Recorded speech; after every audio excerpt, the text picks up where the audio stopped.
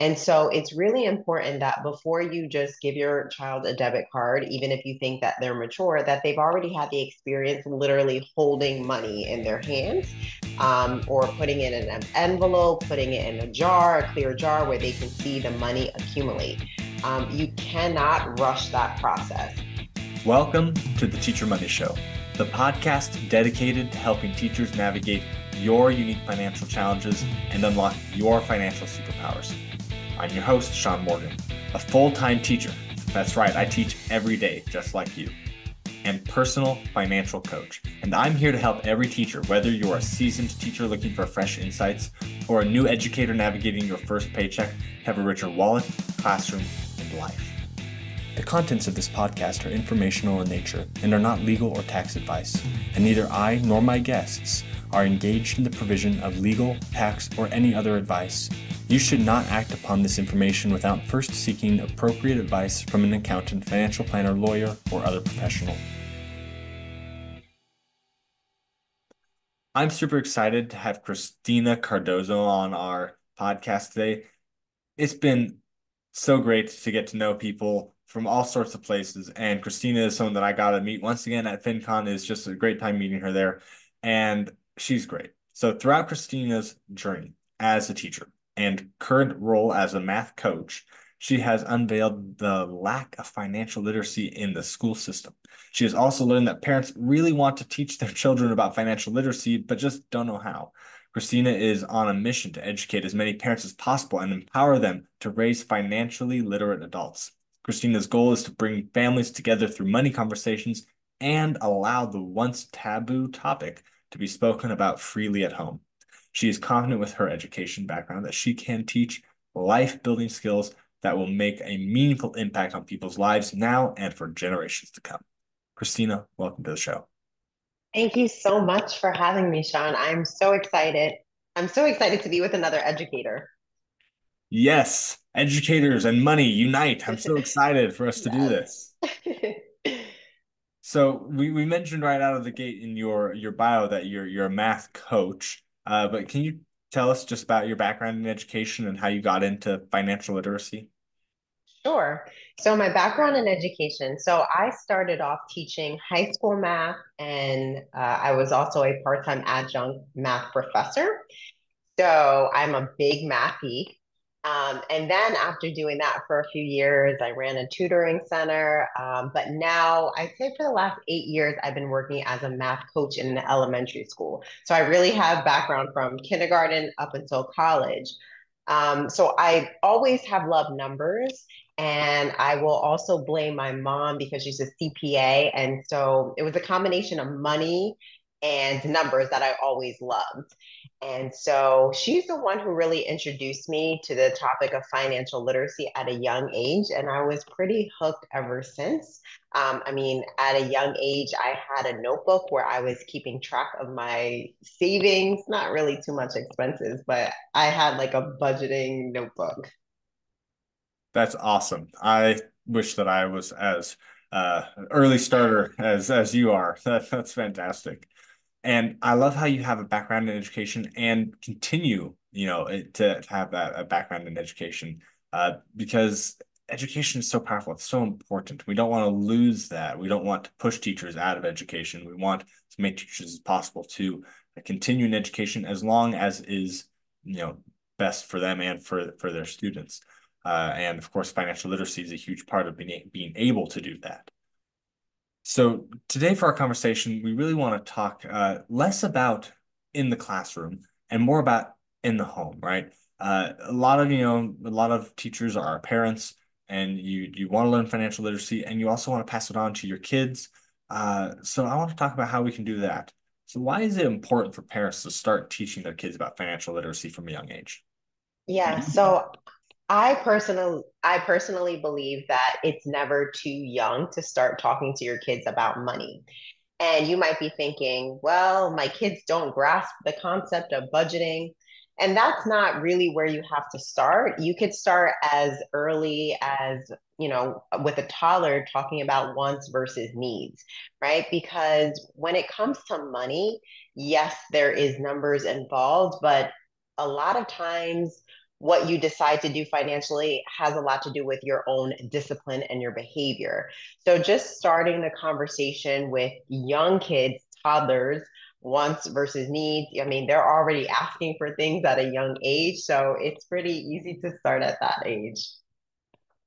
Yeah, I mean, uh, kids are so malleable when they're so young, right? Yeah. I, I hate to, you know, be like, yeah, you're molding your child, but like seriously, you can either push them towards good money habits and good money mindsets early, or you can just not do anything and they'll naturally develop pretty poor money habits just because of the culture that we live in today. So uh, it's very important to start them early so that way they have those good money mindsets right at the beginning.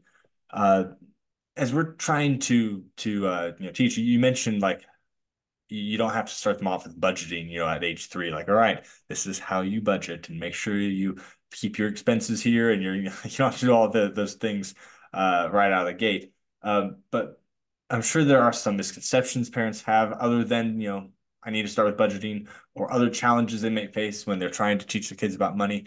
So what are some other things like that that parents need to be aware of? Yeah, so you also reminded me of uh, a study that I had read, and it also talked about um, not only can we start really young with kids, you know, talking about wants and needs, but actually by the age of seven, kids have already de- developed skills, financial literacy skills that they can carry up until adulthood. So already by seven, they have enough skills that you know they can use as, as an adult. And the reason why is because kids are mimicking what they see, right? So you as an adult, you might not realize what you are doing but every day the kids are watching you know the way you talk about money if it's a positive or if it's negative. Um, so i think we really have to watch and be aware of those kind of conversations.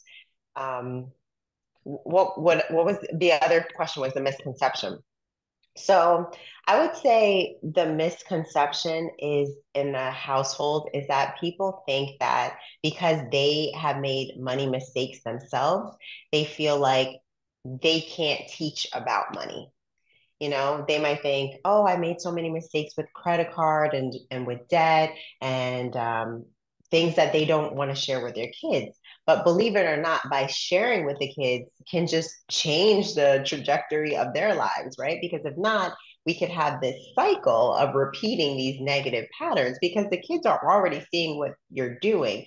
So if they're imitating what you're doing, you know, it's going to continue that cycle. But you could break that cycle by actually having these conversations and explaining, you know, this was a bad decision that I made. And I mean, you know, we're all into financial literacy but we make mistakes too, you know? And so um, I'm not perfect and I will I will tell my kids, oh, I just made this mistake. And now at this point, you know, my kids are kind of like calling me out on things themselves. Like recently we went to the store and I said, All right, we're going to get a soccer ball. And then right away, I just naturally gravitated towards like the clothing section. And then my son was asking me if I was going to impulse buy, and he's 10 years old. yeah. So he's picking up on it and he's keeping me accountable. That, that is fantastic. You know, I, I think that you know it's like you said, it's never too early to start, and you start with your example more than anything. You know, I I don't talk to my kids a ton about money quite yet. Like we we we do mention it. We want to make sure they're understanding that. But the number one thing that I, I, I make sure I do is whenever I'm doing our budget, which I, I do it weekly, I, I do it where they can see me doing it. Right. Just that one thing alone of seeing like, oh, it's a habit. Like everyone just, you know, does their budget. That's what they're gonna assume when they see me doing that. They'll have that ingrained in them as, as something that you need to do is, you know, check your budget often. Mm-hmm. So I mm-hmm. think things like that, simple things like that are really important. And then I really liked how you were talking about uh, having your kids able to call you out. Um, we, we were teaching our kids about that. We, we used a, a book called The Awesome Stuff. I, I had uh, yeah. on and it is fantastic. And we, we talked about the awesome stuff with our kids. And then I was able to just ask them, you know, is that your awesome stuff? And they say, oh no, and, you know, like just using those those proper language, that that right language with them can develop with them that that and then they can start asking those questions, right?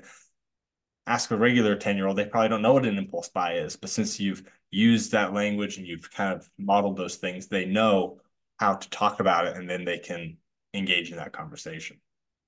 Yes. Um, shout out to David. The book is called The Golden Quest, and I've also read the book to my kids, and it is awesome. And it's funny because I've also had that same conversation. I mean, we're just a few months past Christmas, and I would ask the kids, Do you remember the gift that you got from Christmas from other people? And most of the time they don't, or they're not playing with it, right? Um, maybe from the parents because the parents know exactly what they want and hopefully it's not too many things because then it's kind of like overload or overwhelming for the kids. Um, but the idea is just making sure that kids realize that uh, you don't need to have so much stuff. We don't want to support this consumerism, right? We want them to be content with what they have.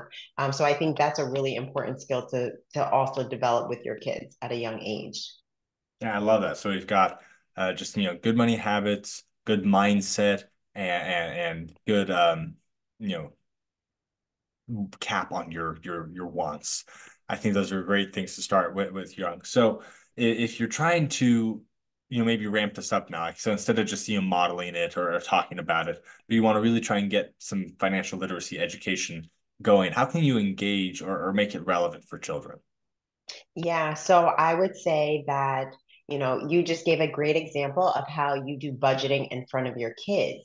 So, one thing you could add to make them a part of it is maybe they're right next to you, sitting next to you. And even if you're just saying, oh, click on this tab or move this mouse, they're literally physically doing something with you. Or maybe you're saying, oh, print this out, or I want you to copy this on, you know, to another document, whatever it is, they feel like they're involved. But besides that, I would say, all right, now you've seen my budget, let's create a budget for you. So, whatever it is, we want to make sure that it's relevant to the child.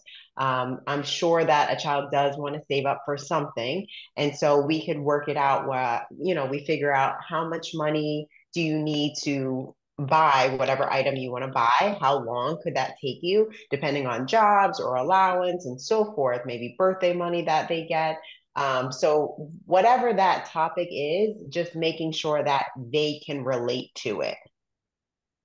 Ah, awesome. So to do this, do you, do you have any strategies or tools that you, you know, use frequently to to engage in that? Yeah. So I there are a few apps out there um, you know, you can search around for some apps depending on the age of your kid. I've actually worked with some financial literacy companies. Um, one of the apps is called Todlr, It's spelled T O D L R. Um, and that app talks about wants versus needs at a really young age, starting at five years old. Um, but there's another app that I'm thinking of. It's called GoalSetter, and that could be for older kids. So that one I actually have for my older son, where he could actually watch videos on financial literacy topics and he could also like it's connected to my bank account so his allowance goes into that and he could also move money to his debit card from that app as well. So again depending on your age you can make it relatable for them and then you have these conversations with them as well. So the fact that now my 10 year old he can move money to his debit card and he knows like you know i have to go out do some errands and said mom is it okay for me to bring my debit card just in case i see something that i want? And i'm saying okay for that. Yeah, that, that's that's great. I want I want to talk about that real quick. But you just mentioned like you know ways to engage kids uh, young in financial literacy. I, I want to bring up that I really love this program. It's called Lemonade Day. Uh, it, it's something that I did with my you know, son when he was five. He uh, just ran a lemonade stand, but it goes with an app that has like education. It's like okay, let's talk about being an entrepreneur, and it like breaks down each steps you need to run your own business while running a lemonade stand. And um, it, it's like it sponsored by a local business. So uh, it's like a national thing, but like local businesses, like a like a local grocery store, but like a chain uh, was sponsoring it, and and we were able to go out in front of that grocery store after we applied to them for you know the permit to to use that space, and um, you know sell lemonade, and then we did accounting on like where'd you get the money from? You know you have to pay your parents back for that, and okay then you have to pay for your supplies, and you have to pay for you know this or that. You have to, we had to pay for the space from the the uh, grocery store, and then you know whatever's left was profit. And we were able to discuss how to use that profit for for his wants needs and so forth. It's just a fantastic program. Very well done for for you know kids of almost any age i think. And a, a, cute kid running a lemonade stand in front of a grocery store makes a ton of money. it's kind of ridiculous right. how much money he made uh, selling lemonade, but it, it, it, was a lot of fun. Uh, so I'd recommend that one. Uh, anyway, I really want to talk to you about uh, the debit card. You have a 10 year old with a debit card. How early do you feel like is it like you usually give a kid a debit card and, and why did you make that decision? What are your thoughts on that? That's a great question. And I'm going to talk a little bit as a math educator um, because nowadays, money in terms of the physical currency, people are not really using, right?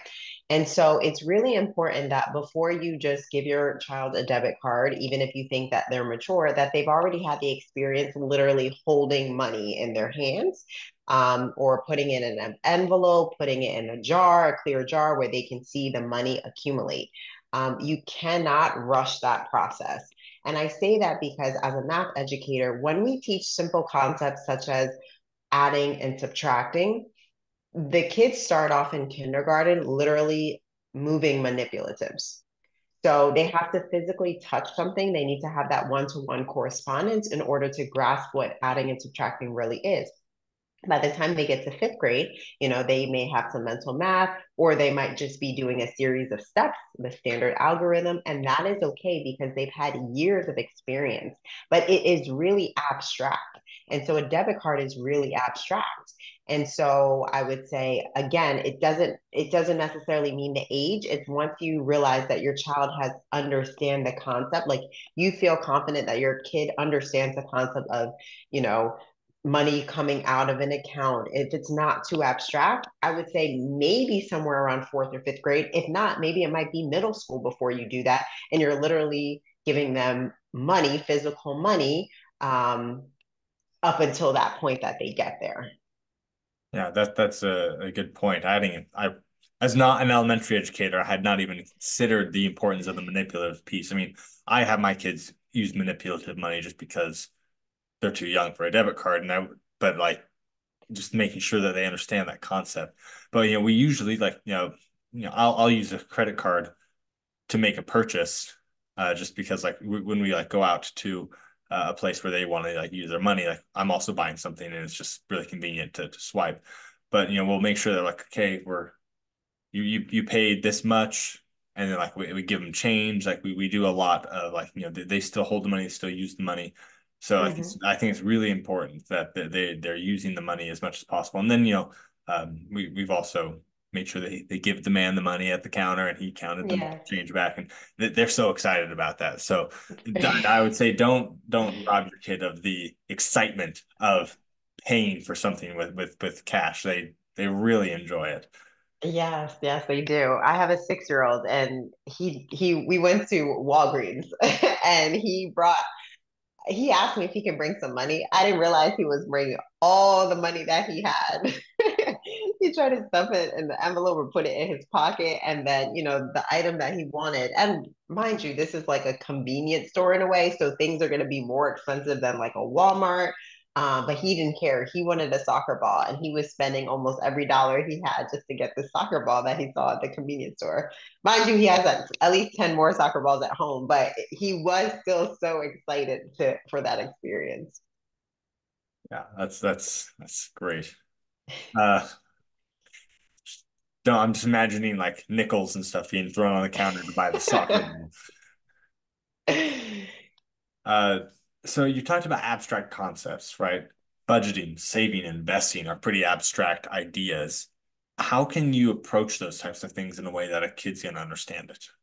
Yeah, so funny. So I will say the reason why I also started educating other people on financial literacy was due to my son. He kind of sparked this inspiration, I would say. And it all came out when we were in the car and my son told me this was around 2020 so he was seven and he told me that he wanted me to open up a brokerage account for him and he wanted to invest and i remember being in the car and turning back my head and i said what? You want to what?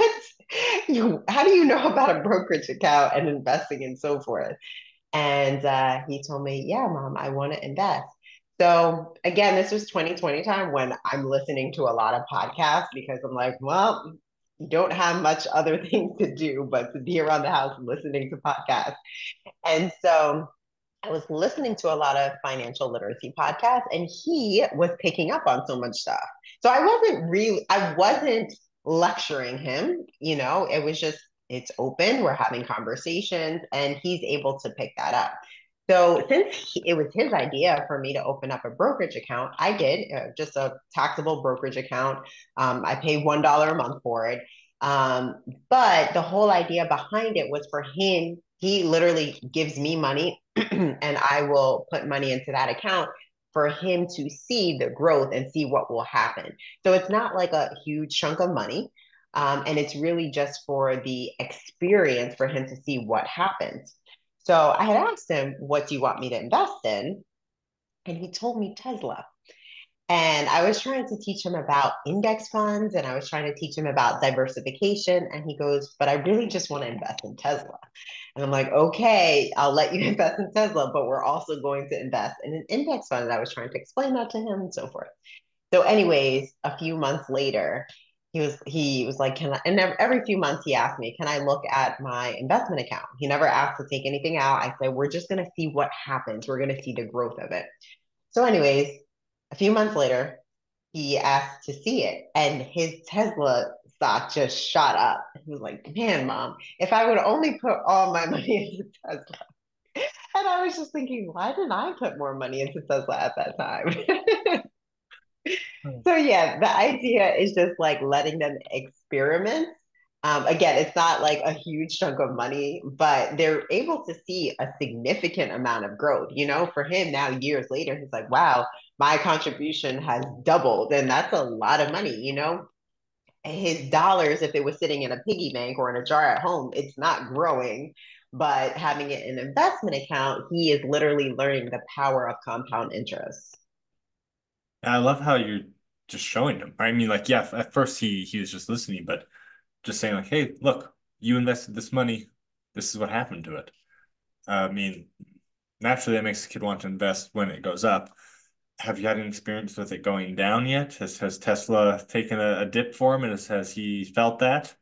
Overall not now you know since the time that he started but right from the beginning he did notice oh it, it dropped a little bit. And i said it's okay you know it's to continue to go up. We're just to step back and we'll look at it every few months. We're not to be obsessed about looking at it all the time.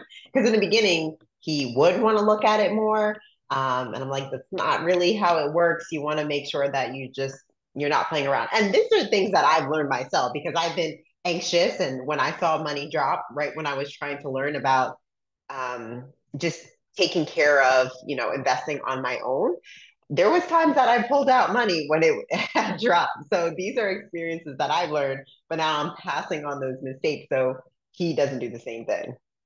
Yeah that, that's awesome. Uh, i kind of want to open up a brokerage for my kids now. And like seriously i like a seven year old investing even like a hundred bucks right is going to do so much in his life compared to you know 30 or 40 year old investing that same 100 bucks. So that right. start them early and there, there's a lot of benefits to that. Right. Um, complete side tangent. If you can get your kid working for you in like a side business of some kind in any way that's kind of meaningful somewhat even at that like a pretty young age you can then start investing in like a, a roth ira for them which is pretty incredible. Talked about this with Erica Terry. Uh, fantastic conversation talking about how you can, uh, you know, and get your kids involved in a side business, an edupreneur business, right? Because you know every teacher can run a business in education in some way, and if you get your kid involved, you can pay them at you know a regular wage and put that money into a, a Roth IRA. It reduces your taxes because you're paying wages out of a business they don't have to pay taxes because they're not making $24,000 a year. So you, you get a tax benefit and they can start investing quite early. Yeah, so this is actually something that I did with my oldest son. I still need to create one for my youngest son. Um, but we also have a real estate business. And so many times he is helping assemble furniture or, you know, taking the drive with us and and still helping out. Um, and so I told him that any money that he's going to get from helping, I'm, I already told him, I was like, I'm putting this into a Roth retirement, a custodial Roth retirement for you. So it was kind of a non-negotiable. I'm not giving you the money for working because you get money regularly, you know, with your allowance. But this money for working this specific job that I made you an employee, that's going to towards your Roth.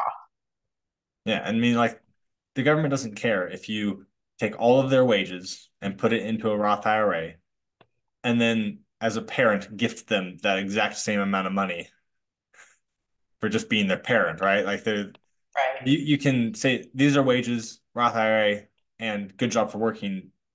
Here's some, you know, here's a gift. Like the, the you're a parent, you can give as much money as you want to your kids without them working. So there, there's just a lot of benefits to doing that. Yes, definitely. All right. With these, you you want to teach, you know, the kids about financial literacy and you're teacher as well. So you probably want to get to as many other kids as possible. Is there any way that you could apply these strategies to a classroom setting to try and, you know, teach financial literacy to your students? Yes. So I personally don't have a class because I'm a math coach. So I work more with teachers. Um, again, I was a high school math teacher, so I did have class in the past. Um, but what I will say when it comes to really any age is I will say kids are learning about this information now more than ever before.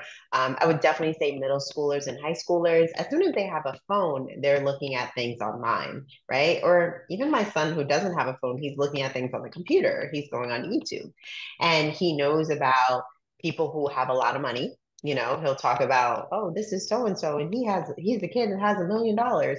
Um, and so the reason why I put that out there is because you, as a parent or as a teacher, just this adult figure in a kid's life, want to be there for the kids to be able to answer questions. So I would really encourage you guys to just make sure that you are also on top of things, like make sure you're educating with what's current, right?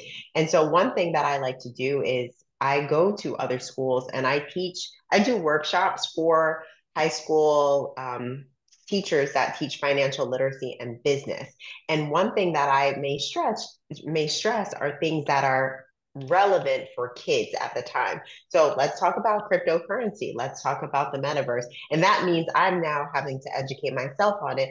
But it's because I know kids have these questions, and these are not things that teachers are taught, right? There's no curriculum right now that's really talking about the metaverse or cryptocurrency. So we have to make sure that we as educators we know how to give the right answers because the kids are already learning this stuff or they're already hearing let's say they're already hearing these things but you want to make sure that they don't go down the wrong path because they were you know influenced by the wrong type of people Right, that, that's good good point. So just keeping up on it so that way as the questions pop up, as it naturally pops up, you can answer those questions and, and engage them in that conversation.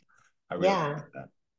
Um, so if you are a parent or a teacher, or you just want to, you know, get your kid learning about financial education today, what's what's the most important first step, would you say? Yeah, so I would talk about behavior, right? So, and this could be a young kid talking about wants versus needs, or this could be an older high schooler and you're talking about delayed gratification.